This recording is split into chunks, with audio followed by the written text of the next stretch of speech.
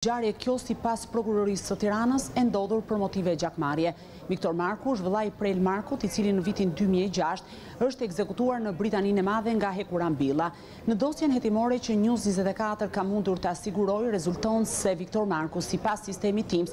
ka dalë nga Shqipëria në datën nëntëmbëdhjetë janar Dy mijë e njëzet nga pika e kalimit kufitar në Muriqan dhe ka udhëtuar në drejtim të Malit të Zi. Por ndërsa sipas Tims-it rezulton që të ishte jashtë vendit, ka dëshmitarë në zonën e Shkodrës që e kanë parë Viktor Markun në këtë qytet dhe konkretisht është një tregtar automjetesh i cili pretendon përpara prokurorisë se Viktor Marku është paraqitur një ditë në servisin e tij dhe ka kërkuar të marrë me qira një automjet tip Smart për llogari të motrës së tij. Këtë Smart, thotë ai, ia dhashë Viktor Markut, të cilin e njihja më herët, dhe do ta merrte me qira për motrën e tij Lula Marku. Në fakt unë nuk kam një kontratë noteriale për dhënien e këtij smarti me qira, megjithatë, mund të konfirmoj se ishte pikërisht Viktor Marku ai që e mori. Referuar dosjes hetimore, rezulton se automjetin tip smart e ka përdorur nipi i Viktor Markut, Sebastian Mali, i cili në fakt është personi i dytë i arrestuar si bashkëpunëtor në krimin e rëndë, ku Hekuran Billa u qëllua me nëntëmbëdhjetë plumba në automjetin e tij luksoz. Me këtë smart, Sebastian Mali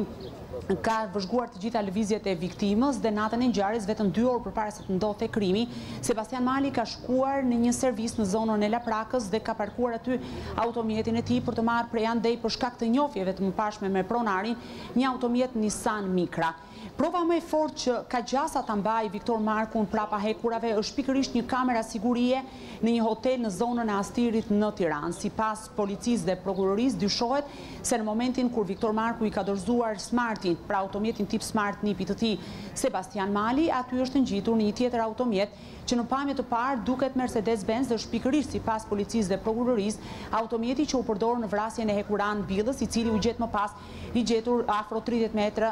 tek lapidari në zonën e Prezës. Duhet theksuar se në kuadër të kësaj ngjarje, prova më e fortë janë vetëm pamjet e kamerave të sigurisë, bëhet fjalë për tridhjetë e tetë kamera në të gjithë zonën, ku janë vëzhguar dhe janë analizuar të gjitha të dhënat. sa i përket personave të dyshuar për këtë ngjarje. Për momentin janë të arrestuar dajë dhe nip, të cilët dyshohet njëri pra Viktor Marku si organizator, ndërkohë Sebastian Mali si ndihmës i tij për të ekzekutuar Hekuran Billën për motive gjakmarrje. Viktor Marku u arrestua në Malin e Zi dhe iu dorëzua policisë shqiptare në pikën e kalimit kufitar për t'u përballur me drejtësinë në fakt për akuzën e vrasjes për gjakmarrje. Duhet theksuar se vetë Viktor Marku ka refuzuar të japë shpjegime përpara oficerëve të policisë gjyqësore, ndërkohë Sebastian Mali, pra nipi i tij, ndaj të cilit ditën e djeshme Gjykata e Tiranës caktoi masën e sigurisë arrest me burg, ka pranuar se ka lëvizur me automjetin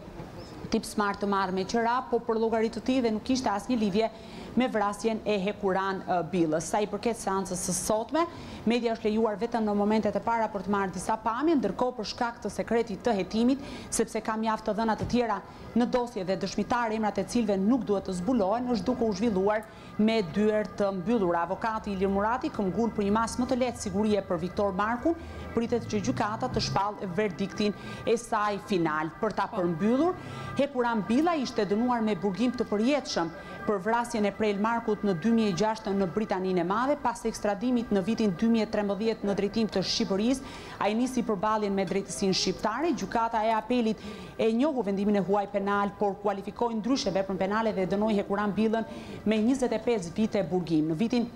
dy mijë e nëntëmbëdhjetë, konkretisht në fillim të dy mijë e nëntëmbëdhjetës, Hekuran Billa u lirua me kusht nga Gjykata e Krujës dhe duhej të paraqitej pesë vite me radhë përpara shërbimit të provës. Asokohe, Gjykata e Krujës arsyetoi se Billa ishte rehabilituar dhe do duhej të punonte si postier për të siguruar të ardhura për prindërit e sëmurë me qëllim që t'u siguronte atyre ilaçet, por në fakt, Rezultoi se ai ishte një biznesmen dhe u ekzekutua në zonën e Komunës së Parisit me nëntëmbëdhjetë plumba të një arme Kalashnikov. Po, Senada? Po, faleminderit Klodi për të gjitha këto informacione që përcolle në studio. Faleminderit juve.